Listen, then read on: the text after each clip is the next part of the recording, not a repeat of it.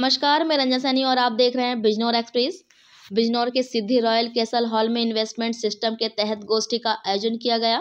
कार्यक्रम के मुख्य अतिथि के रूप में पहुँचे मंडलायुक्त मुरादाबाद मंडल अंजनय कुमार सिंह ने इन्वेस्टमेंट सिस्टम के तहत उद्योगों को प्रोत्साहन और बढ़ावा देने के लिए उद्योगपतियों के साथ गोष्ठी का आयोजन किया।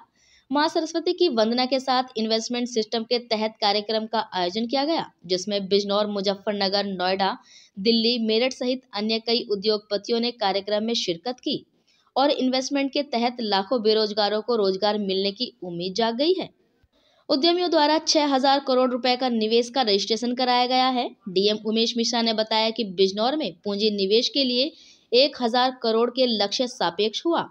छह हज़ार करोड़ निवेश जिसमें बेल्जियम की एग्री स्टोमासा स्टेफनी डॉर्मटियर द्वारा 250 करोड़ रुपए का एक प्रोसेसिंग प्लांट भी शामिल है। अभी तो यह शुरुआत है, जिसका अंजाम बहुत ही सुखद और प्रेरणादायक सिद्ध होगा। इन्वेस्टमेंट सिस्टम के कार्यक्रम के समापन के बाद माननीय मंडलायुक्त मुरादाबाद मंडल श्री अंजनय कुमार सिंह ने पत्रकार बंधुओं से वार्ता की। मंडल कार्यक्रम में बिजनौर के डीएम उमेश मिश्रा और एसपी दिनेश सिंह व अन्य अधिकारीगण मौजूद रहे। बिजनौर एक्सप्रेस के साथ हमारे संवाददाता आकिफ अंसारी। इसके पहले ये होता था कि बहुत ज़्यादा मतलब किसी को अगर व्यवसाय लगाना है तो अपना, हमारे पास दौड़ता था, आता था और हम उसको निश्चित रूप से तब भी हम अपनी, अपना काम करते थे, लेकिन वेलकम करने वाला हिसाब नहीं था कि आप आओ, आपकी समस्या हमारी समस्या है। आपका निवेश जो भी इन्वेस्टमेंट है, वो हमारी ज़िम्मेदारी है।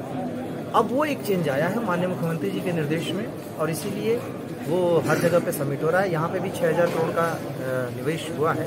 लेकिन मुझे पूरी उम्मीद है कि ये जब तक प्रदेश स्तर का समिट होगा, तब तक ये 10000 करोड़ के भी पार जाएगा, क्योंकि बिजनौर में संभावनाएँ बहुत ज़्यादा है। और उन संभावनाओं के हिसाब से और जो नई चीज़ें हो रही हैं गवर्नमेंट के द्वारा भी नई चीज़ें प्रस्तावित की गई हैं। उसमें बहुत सारे जो निवेशक हैं वो यहाँ आएँगे। एग्रीकल्चर के सेक्टर में जो संभावनाएँ हैं जो हमारी हस्तशिल्प के क्षेत्र में संभावनाएँ उनको देखते हुए मुझे अभी भी उम्मीद है अभी प्रस्ताव आ रहे हैं कि बहुत सारा अभी भी निवेश होगा। कितना कितना आज के लिए अब तक कितना हुआ है सर? ये छः हज़ार करोड़ का इंटेंट आ चुका है। लेकिन मैंने इसको कहा कि छः हज़ार करोड़ अभी बहुत कम है।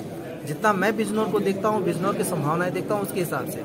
हम इसको जो स्टेट लेवल का समिट है उस तक वहाँ तक जाते जाते दस हज़ार करोड़ से ज़्यादा ले जाने की उम्मीद मुझे लग रही है।